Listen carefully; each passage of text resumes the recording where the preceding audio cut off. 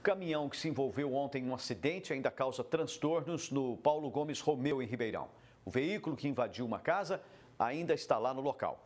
Vamos ao vivo com a Raquel Ribeiro, direto do Paulo Gomes Romeu. Ela tem os detalhes para a gente desse acidente. Boa tarde, Raquel.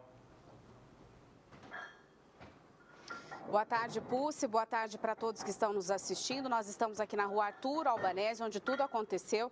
Desde a noite de domingo, essa família passa aí por momentos de tensão, porque após esse caminhão invadir a casa, agora ficou todo o prejuízo. E nós estamos aqui dentro da residência.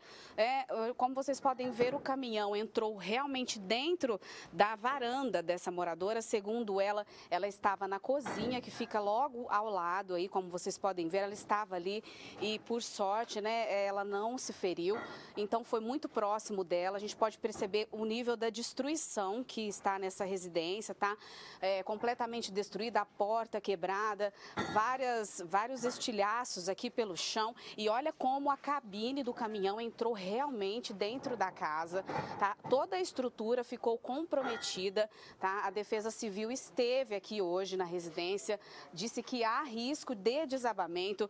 A moradora está com medo até, até mesmo quando eles forem retirar o caminhão, porque diz que pode desabar. A gente percebe então muitos entulhos, olha essa porta onde veio parar e nesse momento uh, os, os funcionários da transportadora estão fazendo o transbordo da carga, como vocês podem ver também, tá? Eles estão fazendo esse transporte dessa carga de mais de 25 toneladas de alumínio. E como vocês podem ver aqui, as telhas também da varanda já foram retiradas e aqui fora, só para a gente acompanhar acompanhar mais ou menos como tudo aconteceu, aqui fora a gente tem também uma outra dimensão de, do, do caminhão, tá? do, do transporte que está acontecendo nesse momento. A gente vai mostrar rapidamente para vocês como está acontecendo do lado de fora da casa, tá?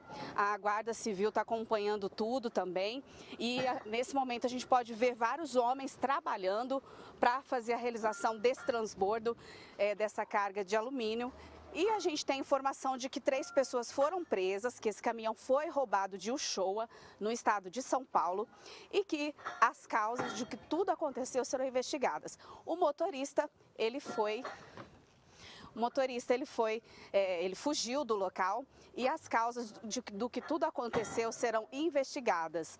Nesse momento, então, o transbordo da carga e os moradores agora esperam para saber o prejuízo. Pulse. É realmente complicada a situação, complicada e perigosa a situação dos moradores dessa residência aí no Paulo Gomes Romeu. Obrigado, Raquel.